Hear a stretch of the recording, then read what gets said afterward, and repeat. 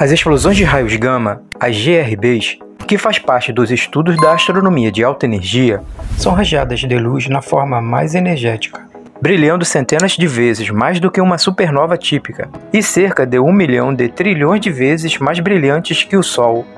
Elas são conhecidas por ocorrerem a grandes distâncias da Terra em direção aos limites do universo observável. Elas foram descobertas por acaso no final da década de 1960 por satélites militares dos Estados Unidos, que estavam à procura de testes nucleares soviéticos, em violação do Tratado de Proibição de Testes Nucleares Atmosféricos.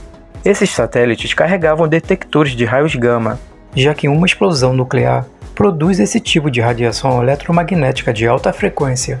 No entanto, eles não encontraram nenhuma violação do tratado, mas descobriram explosões brilhantes de raios gama além do sistema solar.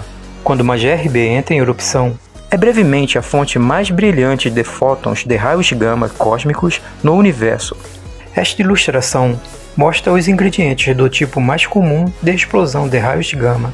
O núcleo de uma estrela massiva entra em colapso, formando um buraco negro que envia jato movendo-se através da estrela e para o espaço, perto da velocidade da luz. A radiação em todo o espectro surge do gás ionizado quente, nas proximidades do buraco negro recém-nascido, ocorrem colisões entre as conchas de gás em movimento rápido dentro do jato, ondas de choque internas, e da borda de ataque do jato enquanto ele varre e interage com seu entorno. Choque externo.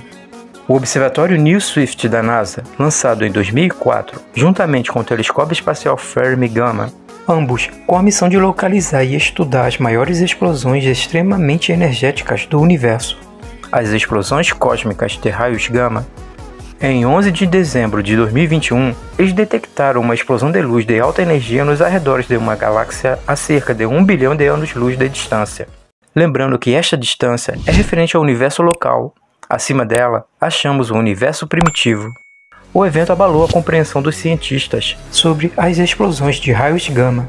Nas últimas décadas, os astrônomos geralmente dividiram as GRBs em duas categorias: explosões de longa duração aproximadamente 2 segundos, e explosões de curta duração, menos de 2 segundos.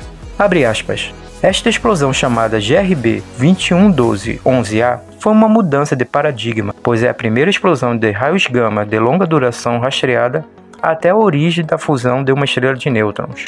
A explosão de alta energia durou cerca de um minuto, e nossas observações de acompanhamento levaram à identificação de uma quilonova, esta descoberta tem profundas implicações sobre como os elementos pesados no universo surgiram, disse Gillian, estudante de pós-graduação da Northwestern University, em Evanston, em Illinois, que liderou uma equipe que estudou a explosão. Essas explosões de luz de alta energia se originam da formação de objetos densos, como buracos negros e estrelas de nêutrons massivas em colapso eventualmente através de choques hidrodinâmicos no meio da expansão ou através da colisão entre qualquer meio pré-existente ao redor da fonte da explosão. E os espectros de luz remanescentes são mais brilhantes que as supernovas e, portanto, são chamados de hipernovas.